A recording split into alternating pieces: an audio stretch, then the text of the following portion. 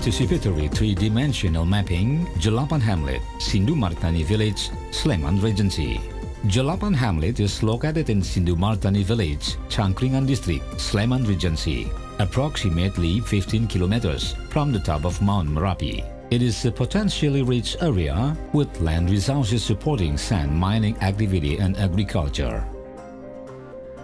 During the 2010 Merapi eruption, the areas of Jelapan Hamlet were affected by primary hazards, especially pyroclastic flows, and threatened by lava flow as secondary hazard.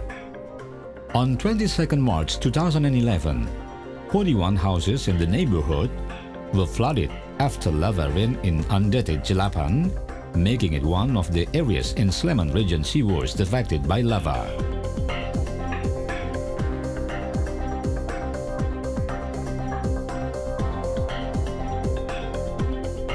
The team from the Master Program on Disaster Management, Universitas Gadjah Mada, collaborating with the Center for Disaster Studies, Universitas Gadjah Mada, responded to the disaster occurrence by designing an activity called Participatory Three-Dimensional Mapping, P3DM, in Jelapan Hamlet, focusing on threats of lava, its impact, vulnerable groups, and mitigation efforts.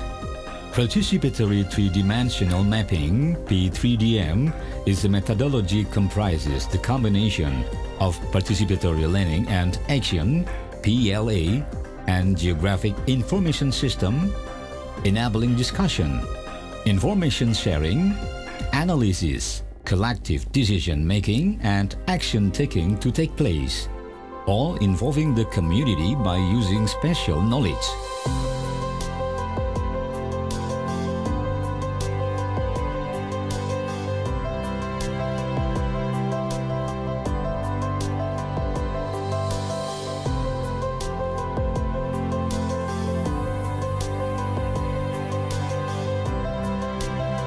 Pemetaan partisipasi tiga dimensi ini merupakan uh, program penelitian kolaboratif antara Pusat Studi Bencana Universitas Gajah Mada dengan Magister Manajemen Bencana Sekolah Pasca Sarjana UGM yang melibatkan luas uh, antara dosen, peneliti, mahasiswa, dan juga masyarakat di daerah rawan bencana. Nah, uh, sebetulnya pemetaan partisipatif tiga dimensi ini belum banyak dilakukan di Indonesia dan kita berkeinginan uh, keinginan untuk mengembangkan penelitian ini di daerah rawan bencana khususnya uh, pada level-level uh, desa dan juga level dusun di daerah uh, pedesaan. Nah, partisipatif, pemetaan partisipatif ini juga uh, bermaksud untuk mendorong uh, partisipasi secara aktif dari masyarakat, pemangku kepentingan dalam mengintegrasikan sebetulnya antara penelitian secara ilmiah dan juga pengetahuan lokal di masyarakat di dalam pengambilan keputusan terkait dengan pengurangan risiko bencana. PP3D merupakan wadah e, untuk bertukar informasi, berdiskusi, menentukan e, tindakan maupun kebijakan e, dengan berbasis pengetahuan keuangan lokal yang mudah dimengerti baik oleh pemerintah maupun penduduk lokal. P3DM involved local people and government. In this case, village administrative and community organization, youth and women's groups. There were five people representing each village. One village administrative, one person representing each group, and students as facilitators. Participants of the P3DM project undertake a total of four days, very much depending on the complexity of information to be provided and required scale.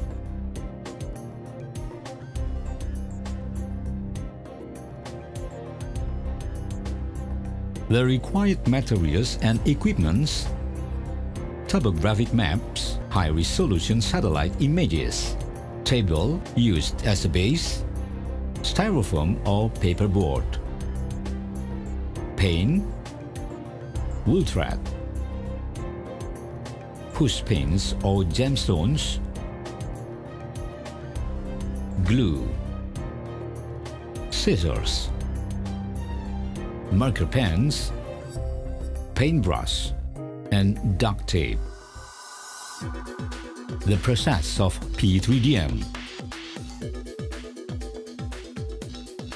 Identification and selection of mapping location This process is crucial considering the size of maps to be designed.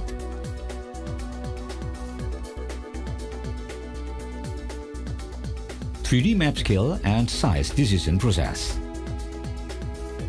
For this activity, size of the three-dimension map is 1.5 by 2 meters. Preparing table as base. The table is set to match the scale and size of the 3D map. Preparing base map.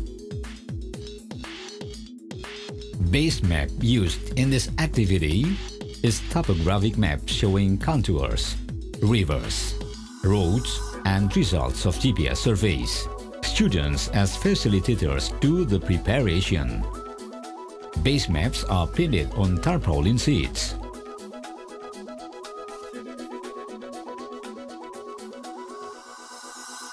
Measuring altitude altitude is determined by the area's position relative to a point or object with known elevation, such as bridge or Sabo Dam.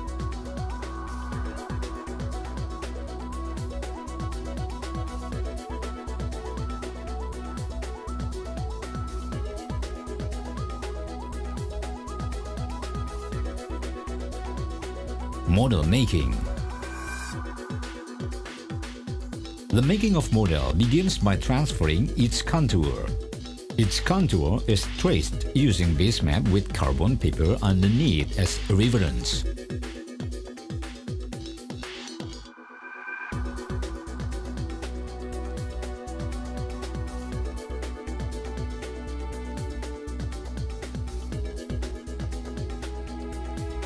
Its styrofoam sheet is cut according to contour lines and then glued and staked.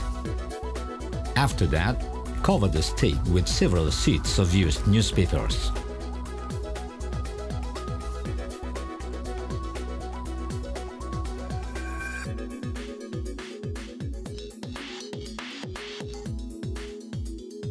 Wait until the glue dries. Once it dries, apply white paint to the model. Wait until it completely dries.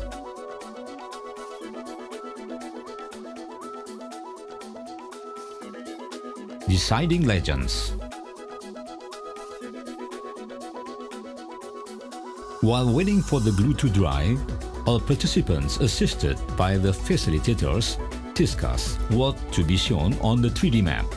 Next, color for each feature is assigned. After it is shaped properly, dots using gemstones, lines using wool threads, or areas using paint.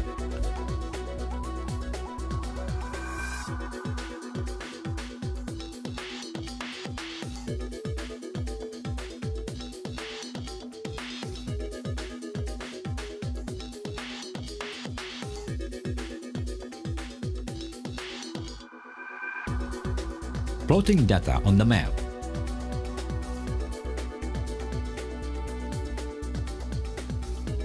Data such as roads and rivers should be drawn first on the map.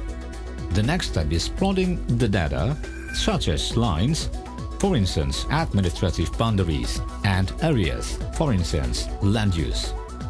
At first, plotting is done by placing wool thread. After everyone agrees, Paints are then used for plotting. Once the paint has dried, participants or local people are asked to plot data in the form of dots on the map. For example, house, Local people are encouraged to be the main actors for this activity since they are familiar with the locations and types of houses to be replicated. For houses as the map objects, numbering can be done at once to create geographical database.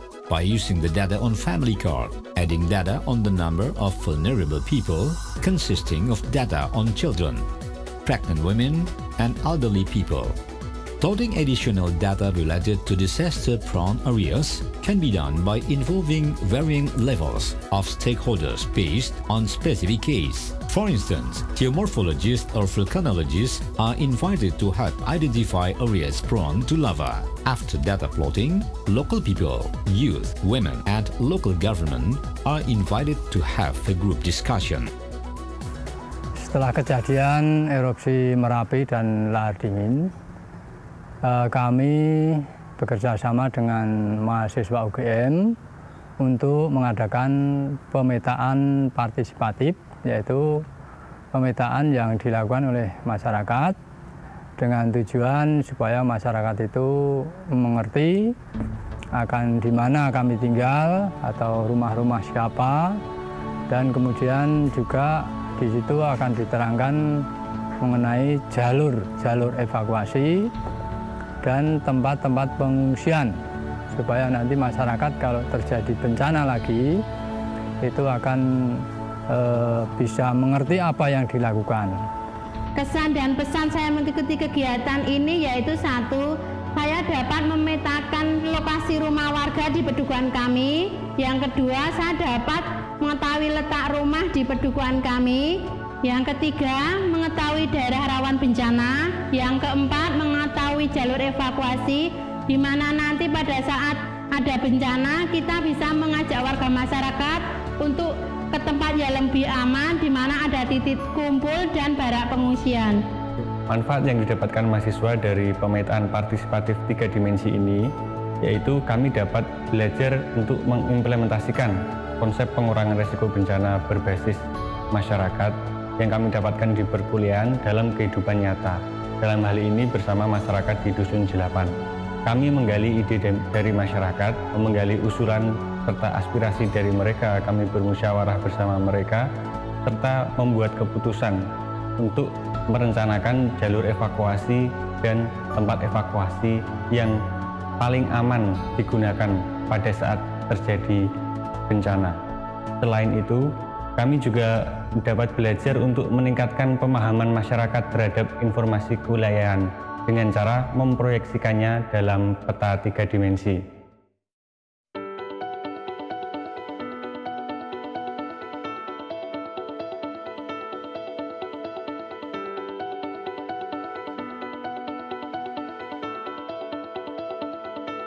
This activity taking place in Jelapan Hamlet is expected to become a pioneer method of participatory three-dimensional mapping which contributes immensely to research and community service in terms of disaster risk reduction.